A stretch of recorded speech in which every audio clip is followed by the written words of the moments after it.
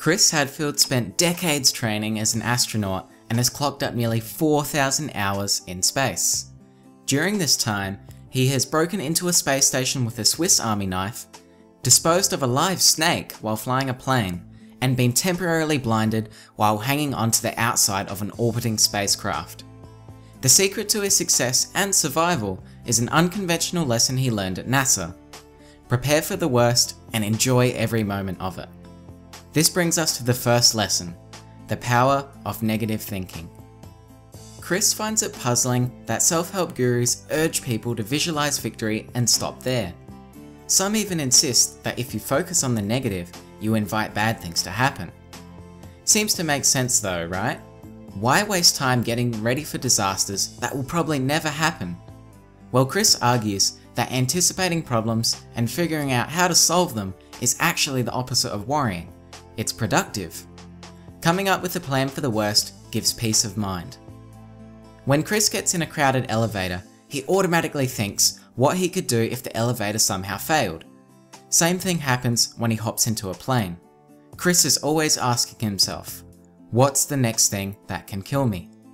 But he assures us he's not a pessimistic person.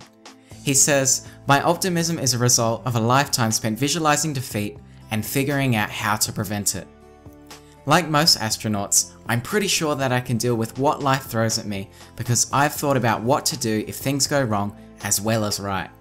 That's the power of negative thinking. Lesson 2 Aim to be a zero. In life, you'll be viewed by other people in one of three ways. As a minus one, actively harmful, someone who causes problems. A zero, your impact is neutral. Or as a plus one, someone who constantly adds value. Everyone wants to be a plus one. You can't be a plus one if you're actively trying to prove it by bragging about your plus oneness out loud, yet so many people do it. Anyone who views themselves as more important than the little people is not cut out to be an astronaut and will never come close to working at NASA.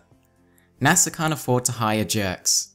People's lives are on the line as well as having to meet the expectations of millions of people who have had to fund space exploration with their tax dollars.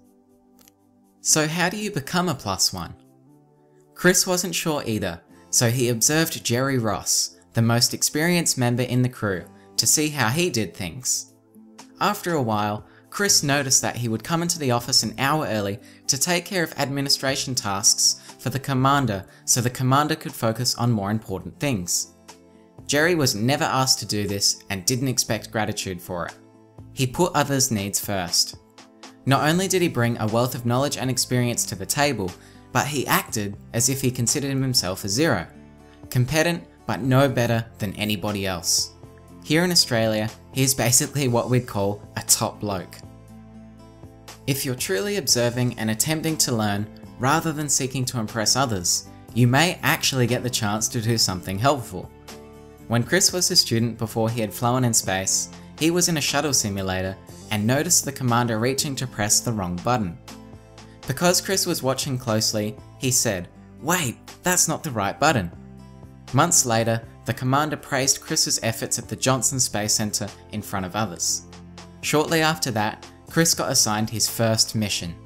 Although Chris admits there may not be a connection between these two events, they sure didn't hurt his chances. So to become a plus one in two words, be humble. Lesson 3 Have an attitude. In astronaut terms, attitude means orientation, which way your vehicle is pointing in relation to the Sun, Earth, and other space vehicles.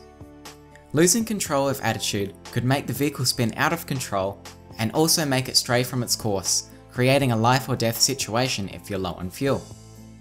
Maintaining attitude in space is vital for success. Chris believes something similar is true here on Earth. So many things are out of our control. You can't make everyone fall in love with you. You can't control the economy, and you can't win every game you play. But there is one thing you can control, your attitude. Chris consciously controls his attitude because to him, a poor attitude is far worse than failing to achieve his goals. The chances of becoming an astronaut are extremely slim, Getting to space depends on variables and circumstances that are outside of people's control. Just two Canadians were chosen to be astronauts out of 5,351 applicants. If you have a personality type that NASA doesn't like, bad luck. If you have a minor health defect, bad luck. If the only reason you wanted to be an astronaut was to fly around in space, you'd hate being an astronaut. As a general rule of thumb, for every few months you train on Earth, you'll spend just one day in space. This is why Chris never expected to get to space, and he never attached his self-worth and happiness to spaceflight. He adjusted his attitude to enjoy every day, whether he was on Earth or in space. Lesson 4. Sweat the small stuff. An astronaut who doesn't sweat the small stuff is a dead astronaut. NASA's strict attitude towards details and rules may seem ridiculous to outsiders, but when astronauts are being killed on the job, the reason is almost always an overlooked detail that seemed unimportant at the time.